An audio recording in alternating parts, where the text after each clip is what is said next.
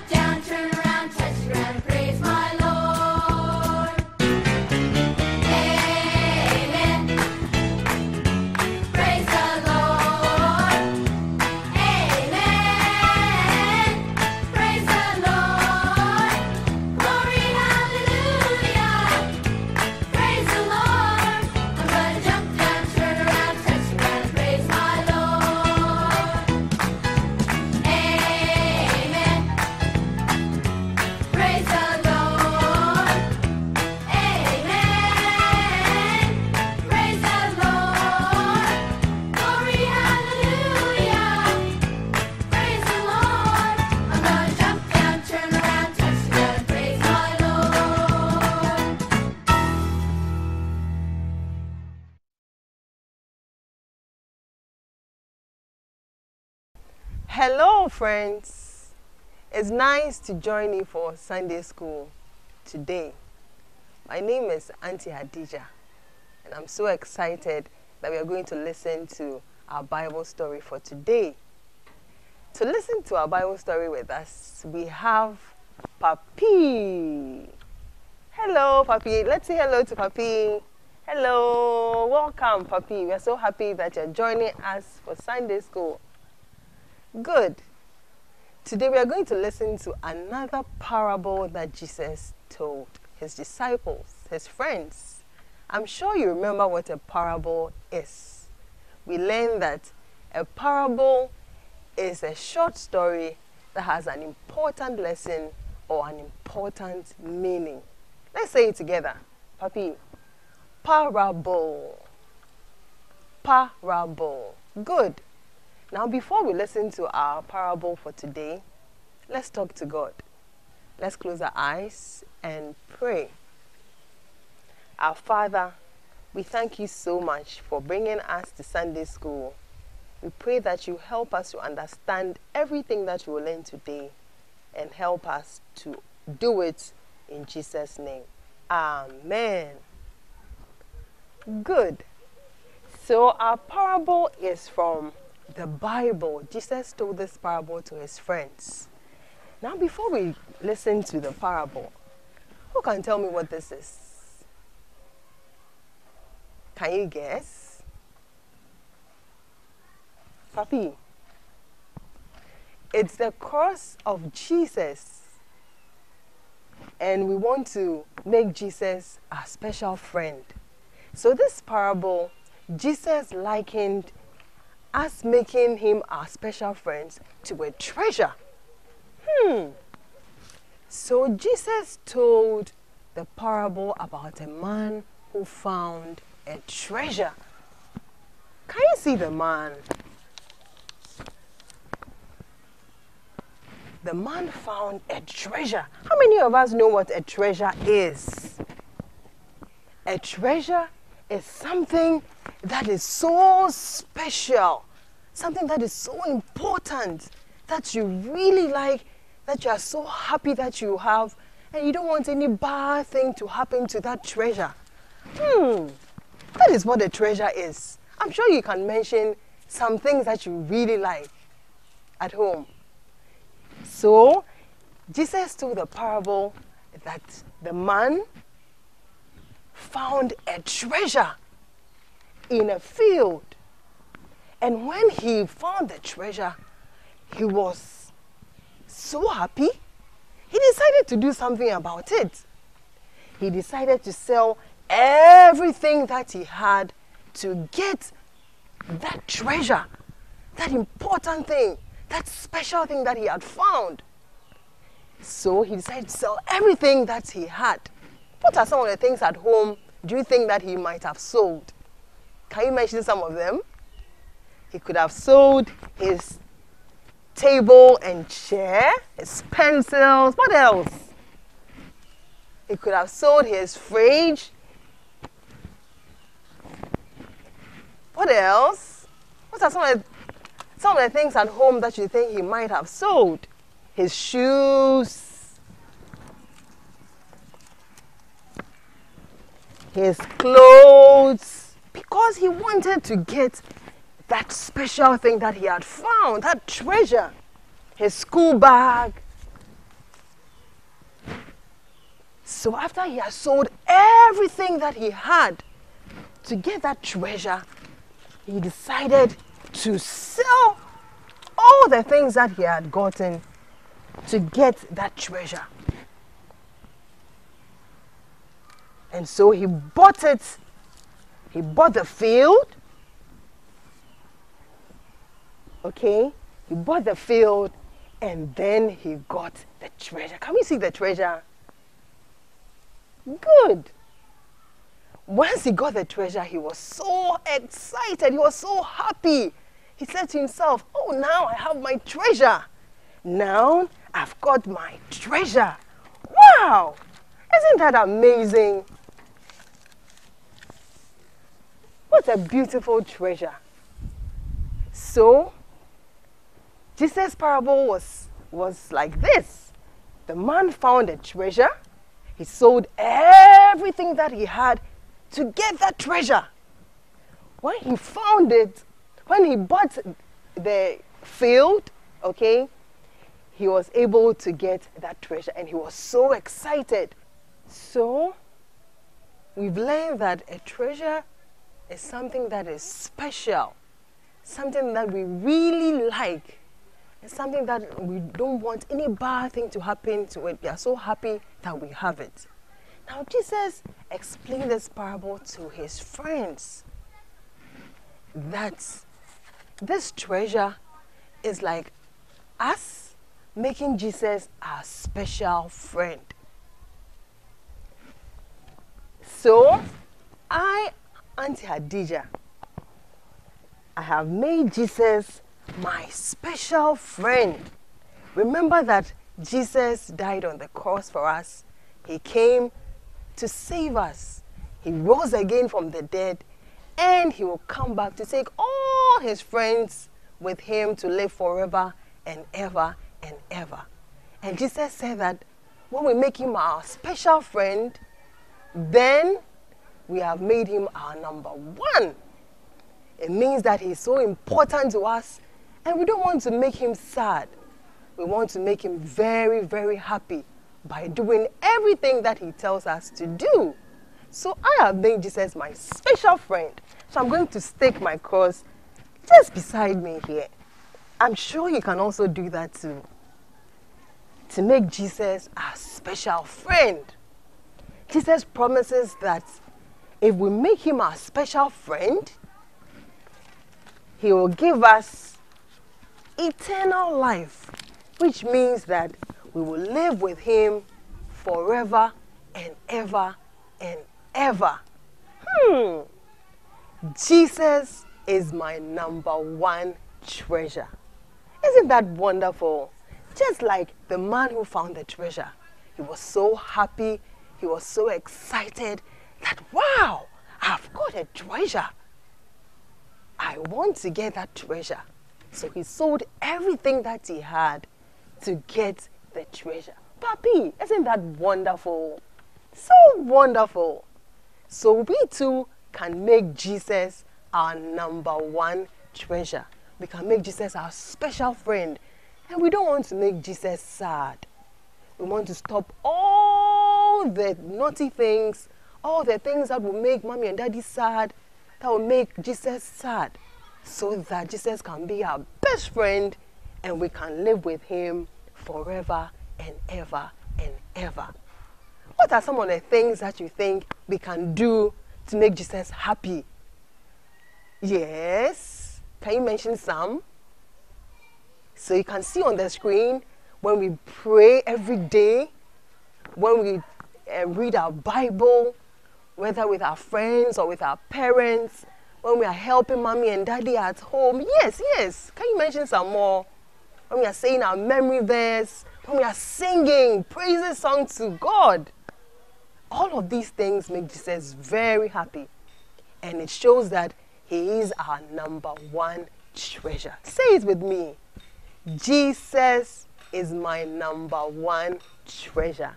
Let's say it again. Papi, don't you see? Yes. Jesus is my number one treasure. One more time. Jesus is my number one treasure. Good. I hope you remember that we can make Jesus our friend. And when we do that, it means that we are going to do everything that He tells us to do to make Him happy. You know what? If you have not made Jesus your friend, we can pray right now. And when we pray, Jesus would come and be our friend. Papi, we can pray with them. So, if you've not made Jesus your friend, let's close our eyes and talk to Him. Let's talk to Jesus that we want to make Him our number one treasure. Just like the man was so happy to do. So let's pray. Let's close our eyes.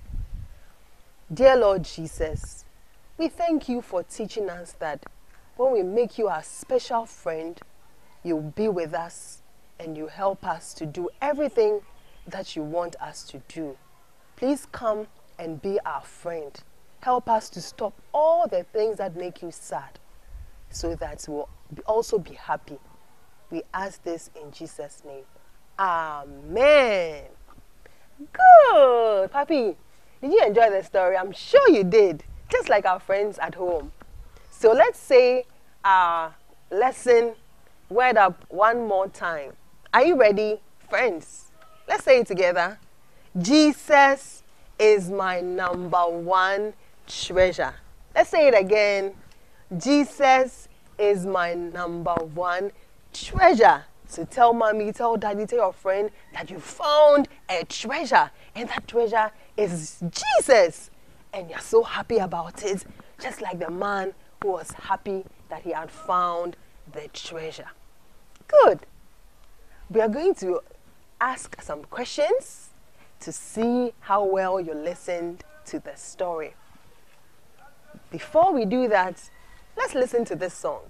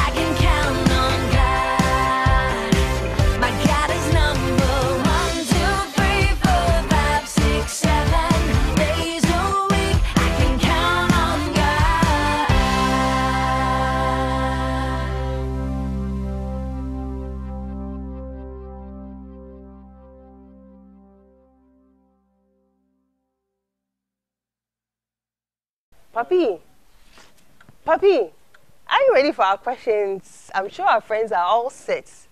Okay, so let's do the first question. The first question, you can see it on, on the screen. Some pictures are there. So the first question goes like this. In today's parable, what did the man find? What did Jesus say that the man found? What did he find? hmm Did he find a treasure? Did he find lots of footballs? Or he found a pack of toys? Just point to the correct answer on the screen. You are right. The correct answer is he found a treasure. Well done. Papi, let's give them some cheers. Yay! Good, good, good. Okay, are you ready for the second question? All right. So on your screen, you can see that there's a man who is making an exchange, who is giving something to another man. What did the man do when he found the treasure? What did he do? Did he sell everything he had so he could get the treasure? Or he went home and didn't come back? Papi. Oh. Or he went to tell some of his friends about it. What did he do? Did he just go home and didn't come back?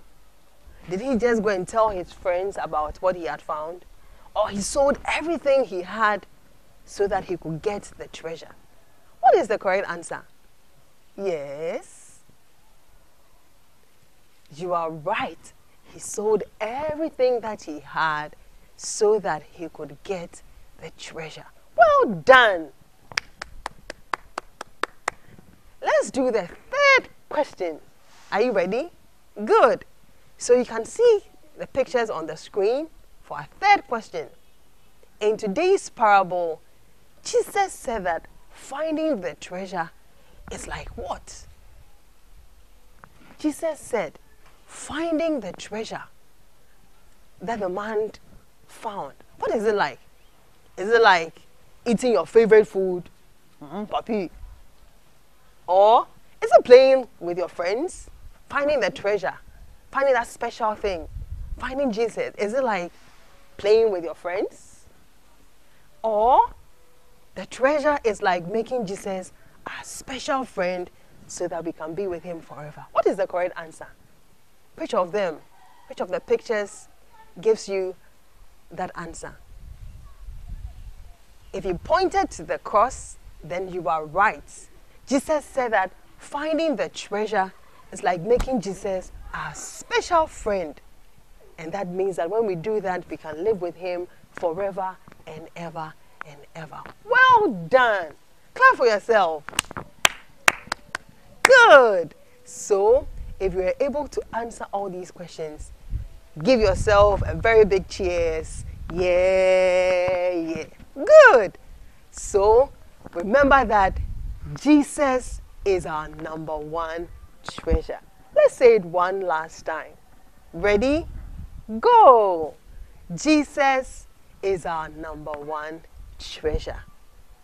Remember to tell everyone about this and remember that Jesus loves you. Let's get ready for our memory verse.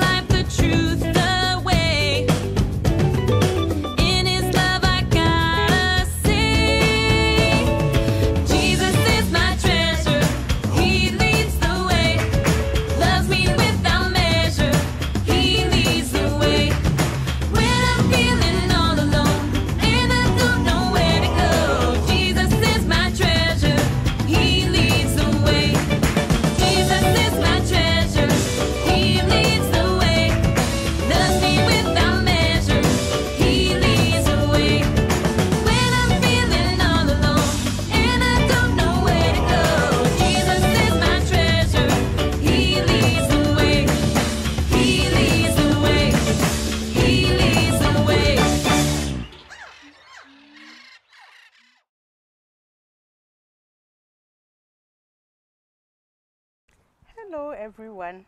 I hope you had a good week and you have learned very important lessons from today's Bible story.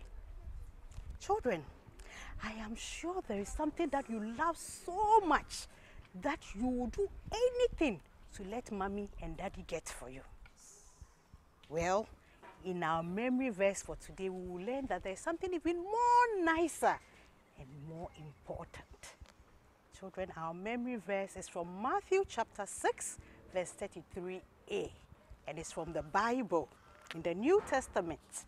Matthew chapter 6, verse 33a, and it reads Seek first God's kingdom and his righteousness. Matthew chapter 6, verse 33a. You know, I'm going to show you the actions that go with this verse. Seek, you look around as if you're looking for something, and first you put up your finger like this. Kingdom, you point up, and then righteousness is like this. So let's do the actions again. Seek first God's kingdom and his righteousness. You remember the verse? Matthew chapter 6, verse 33a. Seek first God's kingdom and his righteousness. Amen. You know, children, when you say seek, it means you're looking for something with all your strength, your energy, looking, because you want the thing so much. And then God's kingdom is a situation where God is in control of everything. He rules, no power or person controls anything. And when we talk about God's righteousness, we mean that God is perfect. There is no bad thing in Him at all. So if you are God's child, oh, you want to put God first in everything you do. When you wake up in the morning, you pray first. When you want to eat, you pray first. And you read your Bible. If you can read, you read your Bible and pray before you go and do anything. But if you are not God's child, hmm, this is not important to you. You want to do anything, anyhow, anytime you want. And that does not make God happy. So our memory verse says that we should do what? Put God first and be like Him. Okay? Good. To help us remember our memory verse, Melika and Eresi will help me play a little game. So, Melika and Eresi, come, quick, quick, quick. You know, I have something really nice hidden behind two of these pots. I want you to go and find them. And when you find them, you can keep what is there. Okay? So now go. Go and find what I've hidden behind the pots.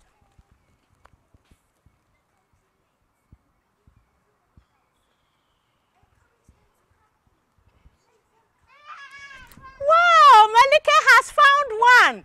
Good.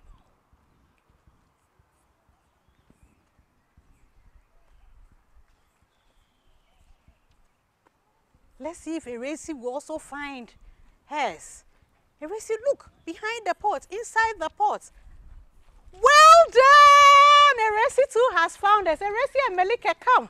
So, you see, this reminds me of the parable of the hidden treasure. They have found treasures and you can keep them, okay? Good. So now you can go. Thank you very much.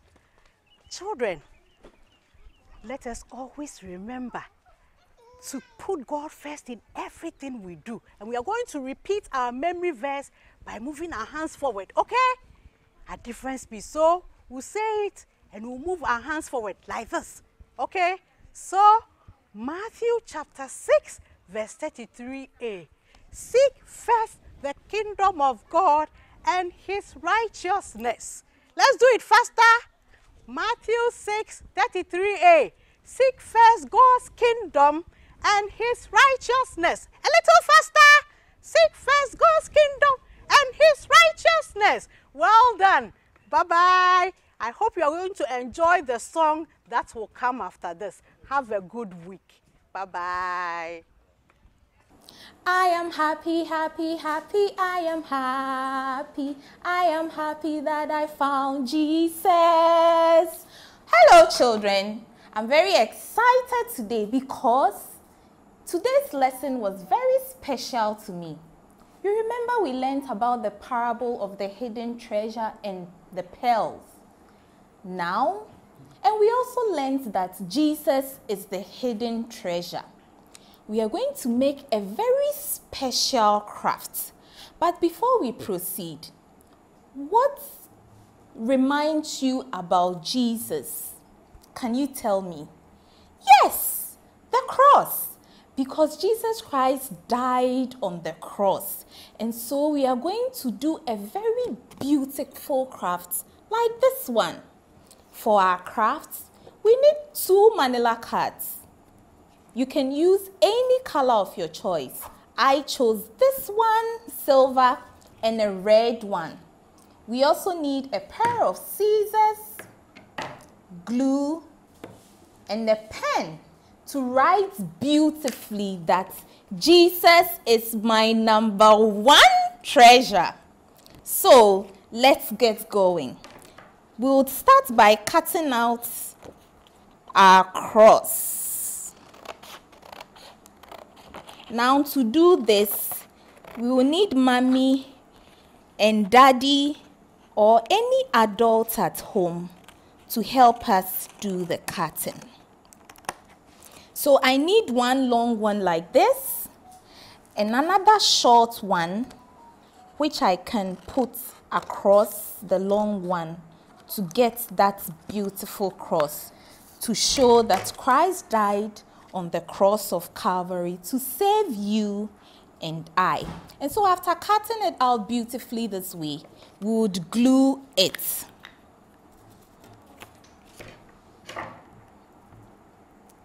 So let's glue it nicely.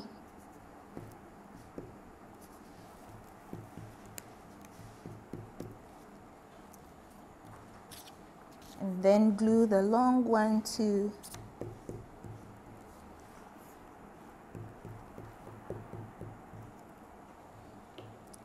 Then after gluing it, we need to put it in the middle of our big card nicely. Okay, and then put the short one across it to get the cross. So, after we do that, we should get something like this. I hope you are all with me. So now let's wait for it to dry up a little bit. I am happy, happy, happy. I am happy. I am happy that I found Jesus. I am happy, happy. I am happy that I found Jesus. Wow, I believe it's dry now. You remember we said that Jesus is my number one treasure. And so that is what we are going to write out beautifully on this craft. And so let's all write it. Jesus is my number one treasure. Hooray! So this is our craft for today. Let us always remember that Jesus is very special to us. Let us make him our number one treasure. In everything that we do, let us always remember that Jesus is the number one treasure and we must always please him. And so, thank you so much for joining us on Sunday School today. We'll see you again another time. Bye bye.